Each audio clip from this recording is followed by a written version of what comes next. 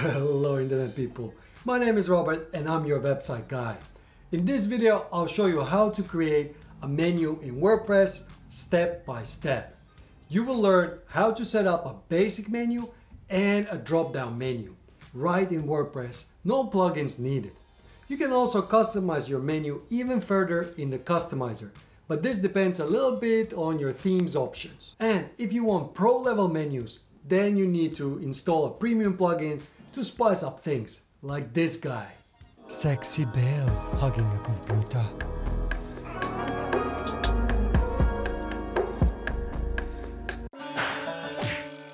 Tips with Punch.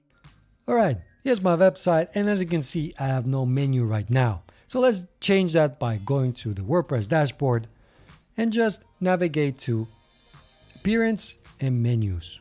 So first we're just gonna create a new menu and you can do it by clicking on this link here. Just create a new menu and then you're gonna give the menu name. It doesn't really matter, just call it something like the main menu or whatever you want to call it. Mac, Mac, Mac, Mac, Mac, Mac, Mac, Mac! Okay, okay, Arnie, you can call it that too. It's just for you, it's not gonna appear anywhere. And then click on create menu here. And now you can see here in drop down, I have a few different menus and we just created this one. So I'm gonna use it, keep it here. And now what we need to do is add things to it. So it's completely empty right now but we can add different kinds of pages. So for example, I have here, um, I can add a blog page, about us, and contact us. You don't usually add home because you want to just click on the logo of your website and then it takes you to homepage. So I'm gonna skip that and I'm gonna click on add to menu.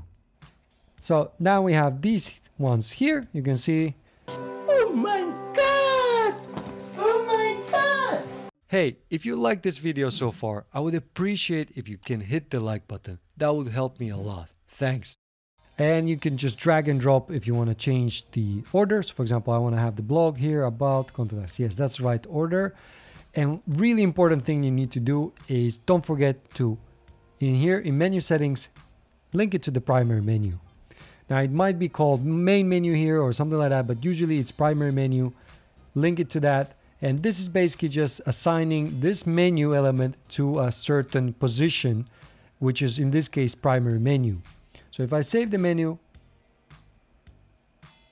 and then I refresh my homepage, you'll see it appears here. Just don't forget to assign it here and you see that there's also other options, but that really depends on your theme. You can try out where else it would show up. For example, if you choose the secondary menu. I'm to keep it like this. So now, uh, what if I want to add a certain post? So here, you just go to post. It's a drop down like this, and you can choose a post. Usually, it's not very common to use a uh, put a post like that. But what you could do is you could create a drop down menu where all your posts live. But we're gonna do that in just a second. Oh yeah, it's, it's good stuff, man. So then you have also custom links. These are, uh, you can create any custom link. So let's say I wanna for some reason, I want to link to Google. So I'm going to just add the URL here like this. And then I'm going to call this menu Google and add to menu. And you see it appears here. And you see here, there's a page type and you have also custom link. So if I save the menu, and again, if I refresh the home page, you'll see Google appears here. And if I click on it, it'll just take you to Google's homepage. So basically you can create custom links to your own website or to external websites. It doesn't really matter. It's up to you what you put in here.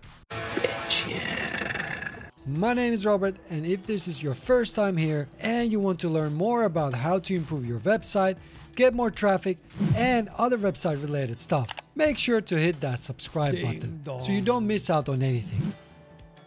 Now if you start having too many links in the menu, you can turn one of them links into drop down menu and it's really easy to do in WordPress. Let me show you how. Now the fourth type of uh, menu you can add is categories and uh, these are just if you want to link to certain categories of your posts. So I have two here. Uh, let's say I'm gonna add them here, both of them, add to menu. And what's cool, if you want to have a drop down menu so that it saves a bit of uh, space, all you have to do is drag this slightly forward and it becomes the sub item of the item above it. Same thing with this one. I want to have these as the sub items of this one and I'm going to rename it actually. So you can do it by clicking this arrow here. And I'm to just remove the URL because I don't want to I don't want this to link into anything. And I'm to call it category. Like this. Categories like this. Then save menu. And if you go to the website you'll see you have categories here. And when you hover over it or maybe in your theme you need to click on it you'll see you have other categories here. So these are the actual categories. Cool. you can't click on categories because it's not the link anymore but you have these two. If i click on them it'll take you to this category. All right. Well let's say you just added the menu that you actually uh, maybe there's too many elements now. You want to remove one.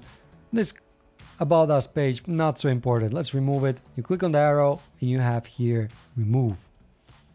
And you see it just disappears here save menu and again if we would refresh the page it would disappear from the menu as you can see the menu looks pretty basic right now right if you want to stylize it more, in most themes it is possible to customize the menu even further. If you want to stylize it more, then you have to come to your WordPress and here on the left under appearance you have this customize.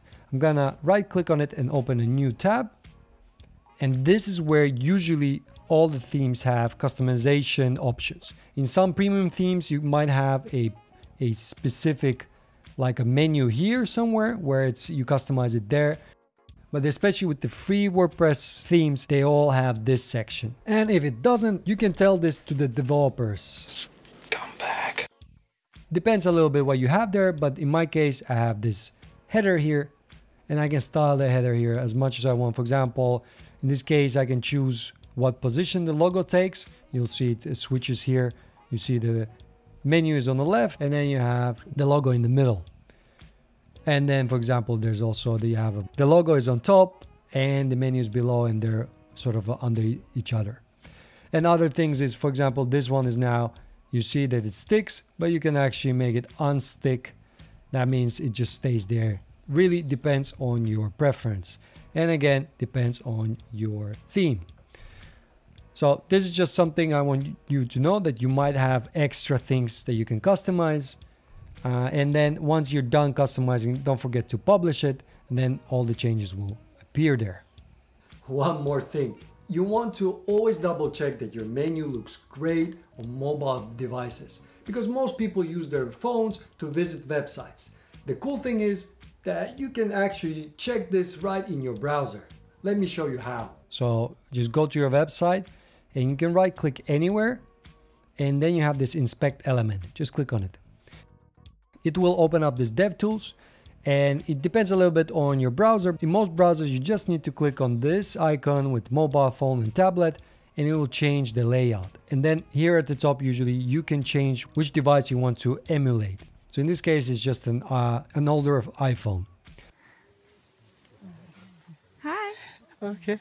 So you can see here now we have the mobile menu and when I click on this one, it opens up a new layover and in here you can do the same things as you could do on desktop. So for example, this one opens up and you can click on this. Works exactly the same. But you, sh you should also double check that this works properly, that all the links show up nicely because you might have some extra customization options in the WordPress customizer. So for example, I have here mobile menu and there's not much I can do here, but for example, I can set the mobile menu slide from left or top. Just something you want to know. If you think your theme is not customizable enough, then you could get a plugin like Elementor Pro, which is a page builder but also has a drag and drop menu and header builder. It's a paid tool, but you have a lot of flexibility and freedom to build a menu like you want it. So let me show you a few examples what I mean. And so if you need something more fancy than that, you could consider Elementor Pro plugin, which is a paid plugin, but in that case you can build headers like this where you have even a title, a subscription to your newsletter and and the menu items themselves. Or maybe a two level menu like this one And with the subscribe button here, if you want a bit more minimalistic look, you could also build something like this where it opens up a layover with big menu items like this one here. So again, this is a paid plugin. And if you're interested in this, you can check out the description for a link to a video that shows you all these elements and how to use them. Next, check out my top six plugins that every WordPress website should have. These will improve your page load speed, SEO, and security. Or if you want to know where to get royalty-free images, check out the second video. Whoosh!